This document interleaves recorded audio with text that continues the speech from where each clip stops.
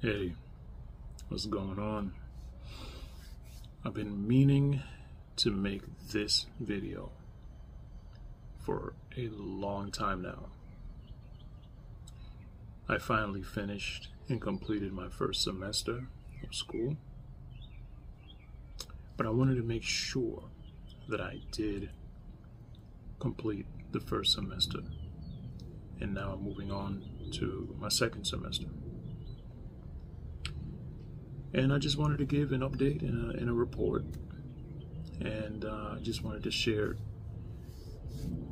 just where I'm at and just my progress and how things have been and how I feel about the program thus far. So let's start there. So, coming into the program, um, orientation day, it was uh, almost 300 students. Matter of fact, it was think it was 300 students. And that's that's just at my campus. There's 23 campuses that, that Galen has.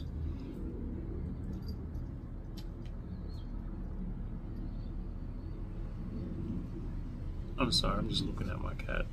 She walked out the house. Just want to make sure I keep her in, in sight. And so, you know, um, it, it's a two-year program. I believe I said that in my last video in reference to schooling. And I'm just taking it one semester at a time. Each semester is 90 days. And taking it one assignment at a time each week. And so I had um, anatomy and physiology, and I had its lab. Now moving on to A&P2 and Lab 2. We also took this um, semester a course called GPS. That's called uh, Galen's Pathway to Success. Okay. Galen's Pathway to Success. And there was a lot of different modules in there preparing us for the rest of the course. I guess I'll read some to you, so you so you so you have an understanding of what I was working with and assignments that I had to turn in.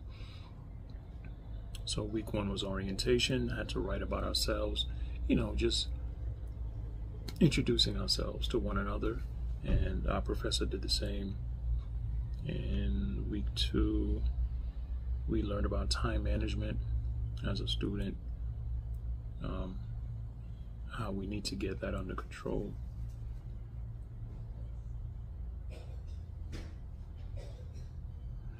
And also in week three, we was looking at um, APA format to cite sources. Hey, how you doing, boss? What up, man? All right. And um, in week four we had to we learned how to use a um, so it's called let me tell you what it's called. Recognize how to coded text coded text which I never used that before so that was pretty cool. And it just basically teaching you how to take a large body of, of a subject and break it down into smaller chunks because when you look at the whole project it looks overwhelming but they teach you how to um, break it apart so that it's not so overwhelming. You just have to ask certain questions like the what, so what, now what, and um, yeah. Week five, we went over study strategies that would help us to improve um, our test taking. And yeah, so I don't want to bore you with the rest of it. So that's what GPS was about. The fourth class that I had was called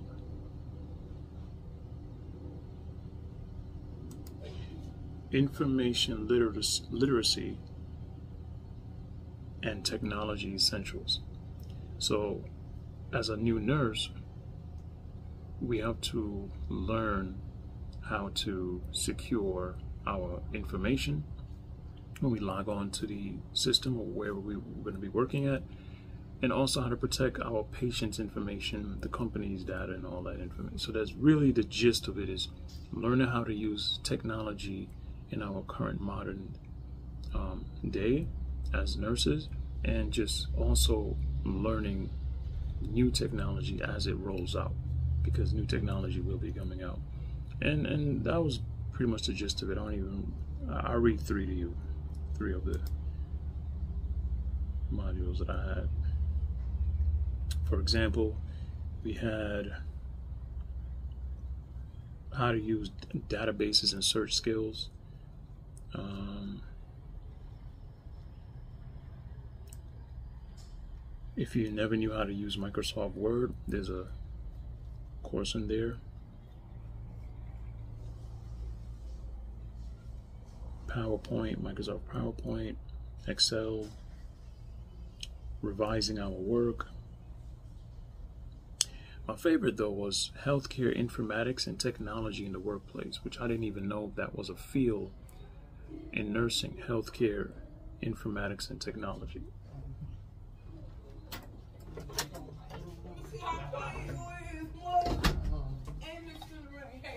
Doing all right.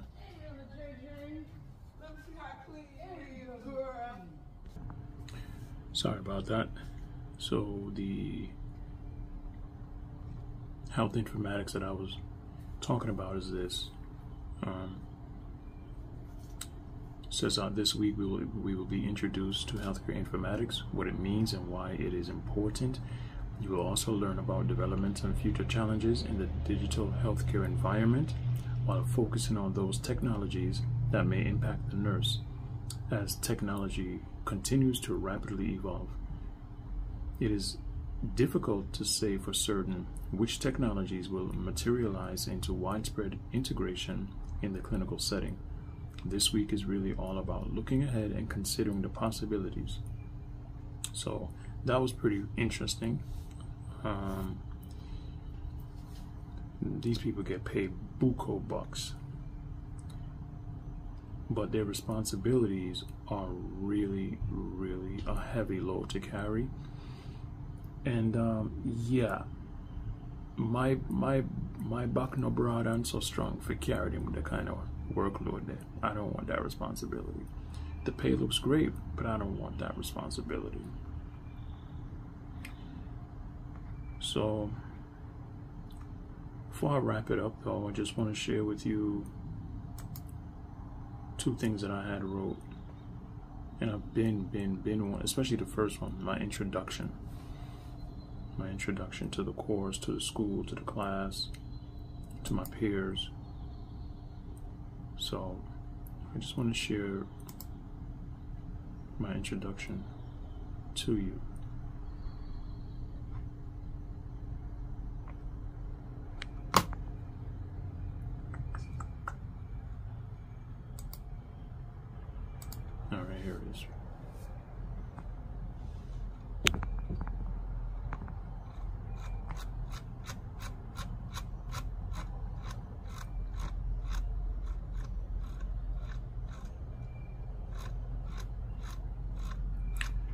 I'm just scrolling through trying to find mine.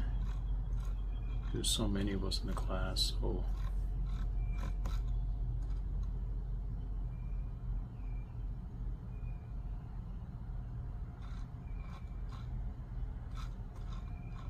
mine is here somewhere.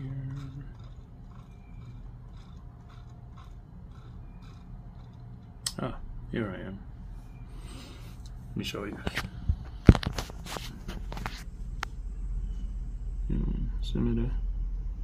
Yeah, me that. Yeah. You don't see my cat? She right there. How that's all asleep.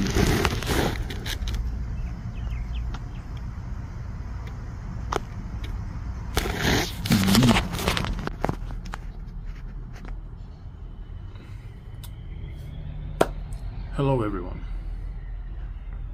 My name is Detroit Gray. I am currently a nurse tech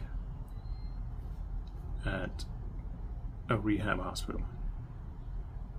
I've relocated here to the Tampa region last July with my wife and children. I've been a nurse assistant consistently since 2019. I've had this hunger of becoming a nurse that year. I was residing in Philadelphia at the time and was accepted into an LPN program that same year, but there were some unfortunate circumstances that held me back from continuing my training and studies while into my second semester. So I made a decision to pause for a while with the intention to one day start over again. I want to accomplish this goal of mine of becoming a nurse so bad that even now, just the thought of it brings a slight tear to my eyes. My intro is going to be a little lengthy, so please be patient with me. Envisioning myself walking across the stage to receive my ADN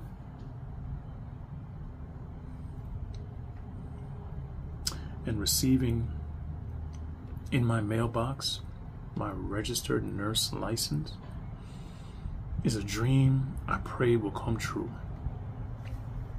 Like when LeBron James won the NBA Finals for his hometown basketball team,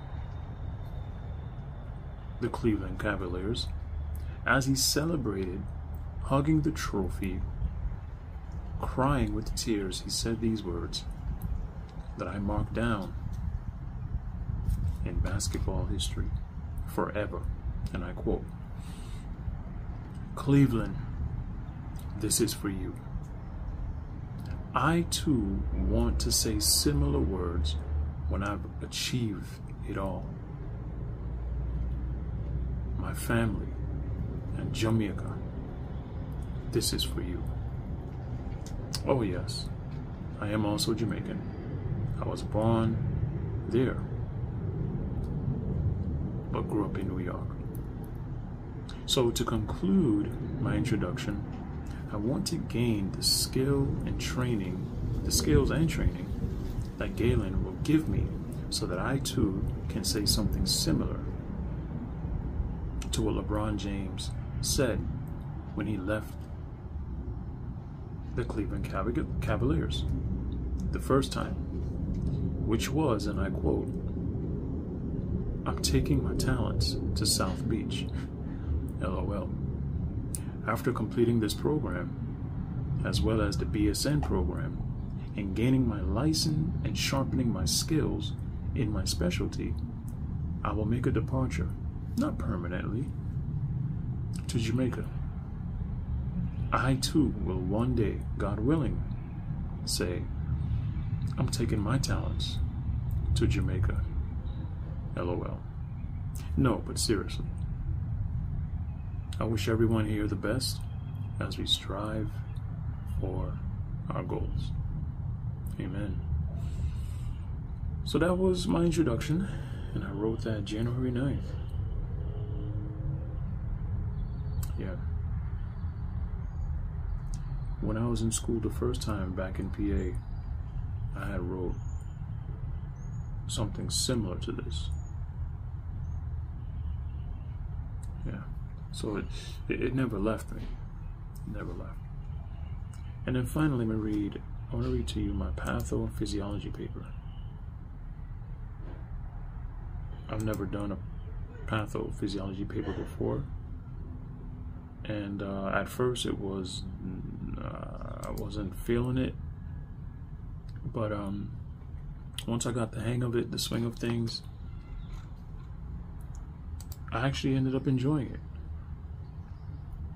So I'm going to share with you what I wrote because doing this course of anatomy and physiology has really shown me just the awesomeness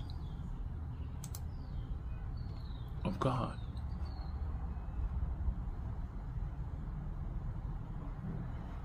So my paper was about osteoporosis. So here we go, osteoporosis. So the normal anatomy and the major body systems that are affected. The human skeletal system, also called the musculoskeletal system, is a very vital structure of the human body. I call it the scaffolding of the human body, but it is usually referred to as the internal framework. The skeletal system supports and protects the body's internal organs. It creates the physical shape and movement of the body. It also stores minerals such as calcium, phosphorus, and lipids, otherwise known as fat, in the bone marrow of the bones.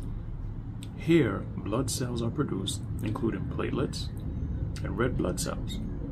There are four types of bone cells found within bone tissue. Osteoblasts are responsible for forming new bones and found in the growing portions of bone. Periosteum and the endosteum. So that's where you'll find the osteoblast. Um,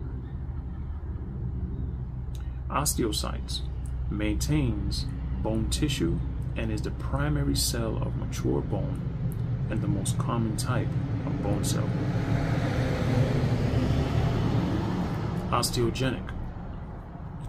Osteogenic stem cells are undifferentiated and they are the only cells that don't divide. Osteoclasts are responsible for bone resorption and breakdown. And I got all this knowledge from um, Betts. That's the book that we use for this course.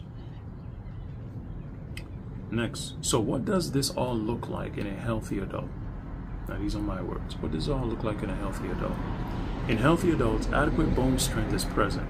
This is very important because as we age, we lose bone density women are more susceptible to this, especially after menopause. The bones lose calcium. Calcium, if you recall, is stored in our bones. With healthy bones, we're not at risk of easily fracturing our hip or wrist while maintaining an upright anatomical posture showing no curvature in our spine. This is a common occurrence for many women who have osteoporosis, but we'll get to this later. So, in the normal physiology of the major body system, what's affected? Generally, a bone density scan is done to measure bone mineral density, or BMD. For many healthy adults, the calcitonin hormone, which is an amino acid peptide, is secreted by the thyroid. It decreases the blood calcium level, or shall I say in vernacular terms, calcitonin tones the bones. For these adults who have no evidence of osteoporosis in their wrist, hip, and spine, they are living normal lives. Those men and women can perform all activities of daily living with no restrictions. With no traces of this bone disease in the spinal column, an individual can stand upright, bend, and twist. With no trace of bone disease in the hip bone, an individual can comfortably walk up and down stairways and get in and out of a vehicle and squat with ease. And again, with no trace of this disease, this individual can utilize all the functions of their wrist. So, the mechanism now, now I'm going to talk about the mechanism of pathophysiology. Although osteoporosis is generally considered a woman's disease, a small percentage of older men from 50 years old to 70 have been detected to have this chronic disease, which is more commonly called osteoporotic fracture. Elderly men are also susceptible to bone mineral loss and osteoporosis, and 20% and 20% of cases of osteoporosis occur in men. However, it is primarily seen in aging women, especially for most who have passed the stage of menopause. and are experiencing low levels of estrogen. Non white, black African American, and Spanish ethnicities are at low risk of suffering from this disease that predominantly affects women who are of white or Asian ethnicity. It is also common in those with a history and behavior of excessive alcohol abuse, smoking, and have low levels of physical fitness and poor diet. Long term use of certain medications that have been linked to causing weak and thin bones is also a risk factor. Women have less muscle mass than men, and as they get older, it becomes even lesser. For many women, falls can be detrimental as they don't have adequate padding to withstand an impact to their weak bones. An injury to the wrist or hip is more likely to cause a fracture in women than in men. There are cases where bones have been known to fracture from lifting, bending, or from doing a light intensity activity. Osteoporosis in adolescence is not uncommon. The damage can be even more severe in those individuals who suffer from anorexia. As stated by Cabrera, anorexia nervosa, or AN, is a life-threatening eating disorder characterized by a pattern of being of binge eating or self-induced vomiting or intake restriction that is accompanied by weight loss, which has negative impact on the body, developmental and overall health. Due to extremely poor nutrition, this group suffers the worst with osteoporosis. Anorexia causes a reduction in bone formation and an increase in bone resorption, interrupting the normal flow of metabolism and disrupts estrogen's ability to be active in the osteoclastic phase.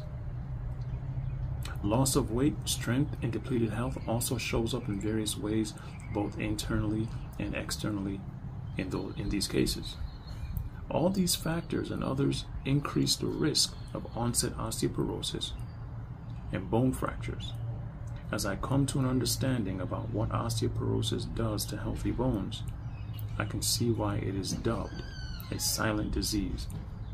But for those who meet the criteria of it, then there isn't much surprise here. So now we move into prevention and treatment. Is there a preve- is there a preventative treatment plan against osteoporosis? Sadly, no. As I've since learned, this is a bone disease that can be genetic by birth for some women and genetic by default of one's own ethnic DNA, ethnic DNA. But there are several proactive things that we can do to keep it at bay, even slow down its progression as we age in life. As a nurse who would have a patient with osteoporosis, I'd educate them on cultivating a healthy lifestyle that entails a balance of consuming a healthy diet of meals and supplements that are rich in vitamin D, calcium, and calcitonin. If my patients are capable of lifting weights, I'd encourage them to do so by presenting to them Wolff's Law that our bones grow in density and stay toned from heavy load exercises. I'd remind them to use proper body mechanics and not to rush through their movements. Conclusion Osteoporosis is not a bone disease that should be understood with fear and gloom. No. Persons who will unfortunately have this disease and are living with it currently will have to learn how to perform daily tasks in safer ways people can still have an enjoyable life living with osteoporosis if they are mindful of the limitations their body has.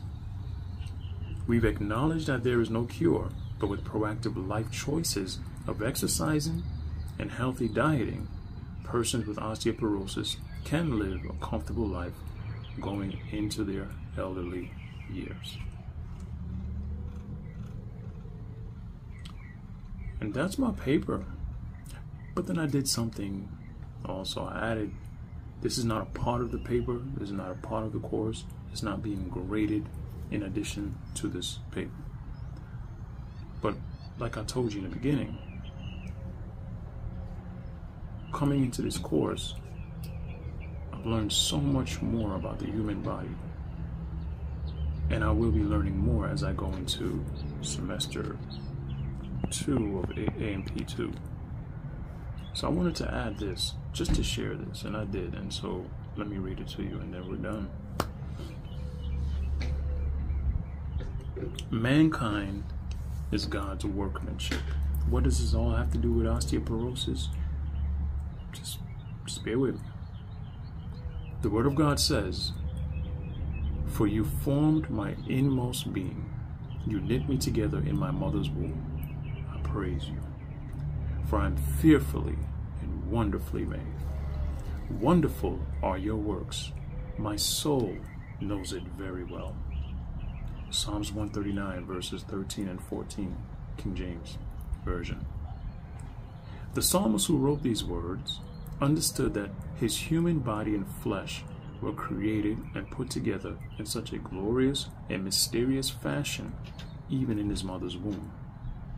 I don't know for certain if he ever heard of the word zygote, but from what I've since learned in my month and a half taking this course, that is exactly what he was referring to. So he gives praise and recognition to a being whom far exceeds the powers of a mortal man. A master creator, a God. The writer continued and added these words Your eyes saw my unformed body.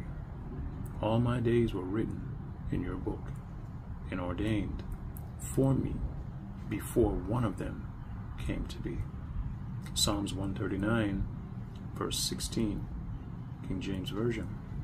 The writer is saying, even when he was still yet to be formed in the womb and in his human organism system was yet to be completed, this God, whom he believes in, had his life mapped out. Once upon a time, the human body was blessed and had no sicknesses or diseases, created from the dust of the ground, and had God's breath of life in its nostrils. Genesis chapter 1, verse 7. King James Version.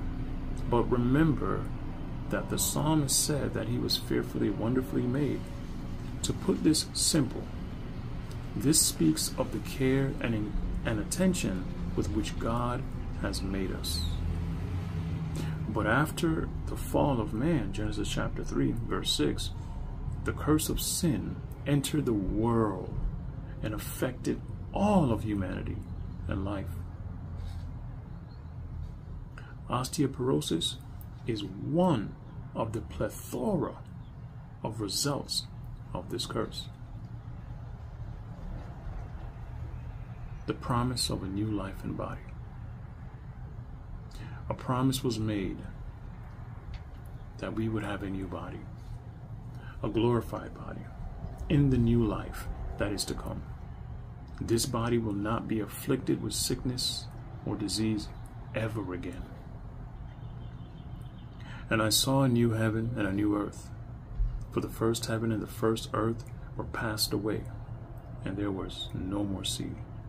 And I, John, saw the holy city, New Jerusalem, coming down from God out of heaven, prepared as a bride for her husband.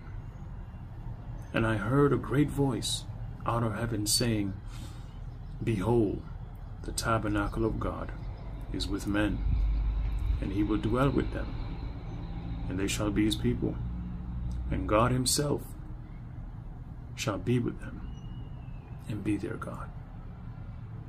And God shall wipe away all tears from their eyes, and there shall be no more death, neither sorrow, nor crying, neither shall there be any more pain. That's a good God to take away all these things because of the curse of sin. That's a good God. I want I want that God to be my God. I read on.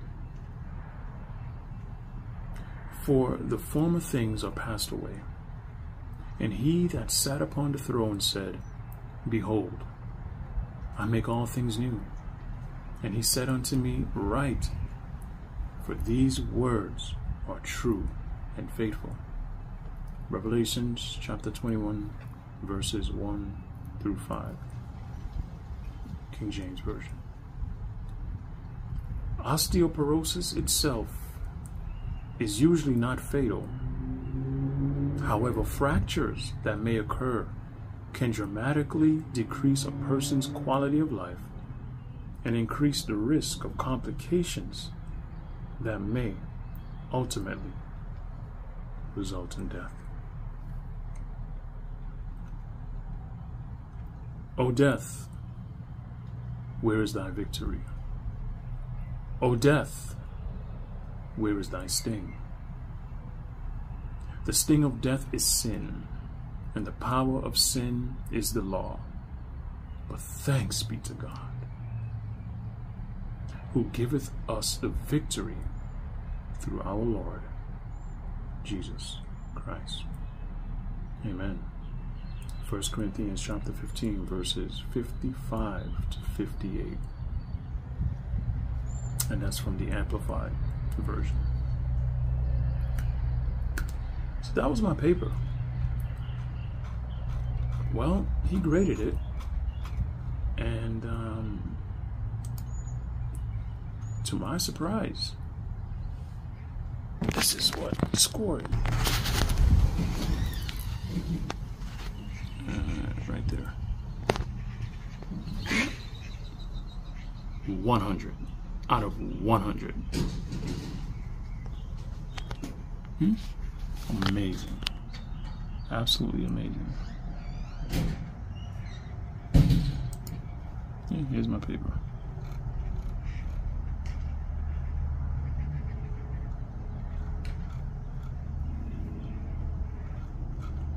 I was I was so stoked. I couldn't believe it. You know, I felt like I did really, really good on it, but I didn't know I would get a perfect score. And so I give God the glory for that.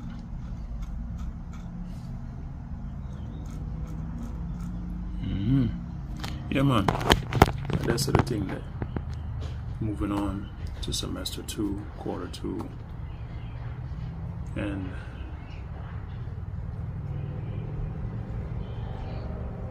the journey continues for me to become a nurse, a registered nurse. So that's how I'm just going to do this. So every three months, I'll give you an update. Instead of boring you every week with what I'm doing, how's it going, I'll just give you an update every three months. All right, I'm out. I'm, uh, I'm going to continue live on purpose godly purpose. And I pray that you continue live on purpose, godly purpose.